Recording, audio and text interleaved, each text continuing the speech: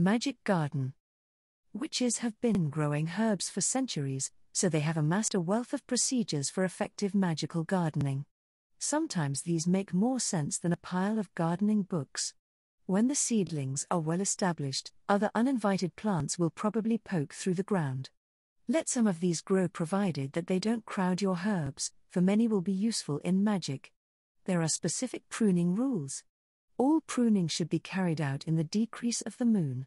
Hedges, such as the hawthorn, which at one time every witch had in her garden, should always be trimmed from east to west, which follows the course of the sun. Prune trees in a clockwise direction as you walk around them. Thistles can be a bit of a bother in the garden. If you cut them after midsummer, two will grow for every one you cut.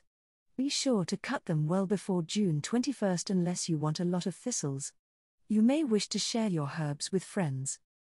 Dot once a month after the herbs are fully grown, on the night of the full moon if possible, walk out to the garden and draw a circle in the dirt around each plant, using your knife.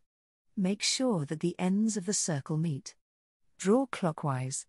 This helps to seal the powers inside the leaves and roots. Then, 2. Go out at night when the herbs are rejuvenating and basking in the moon's light and talk to them.